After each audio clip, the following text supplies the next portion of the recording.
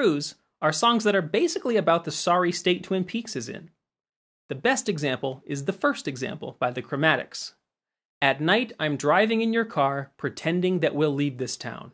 We're taking the Twin Peaks vehicle for a ride and pretending it can be something else. We're watching all the streetlights fade, and now you're just a stranger's dream. The David Lynch light of the old show faded, and what we're left with is what the audience wanted.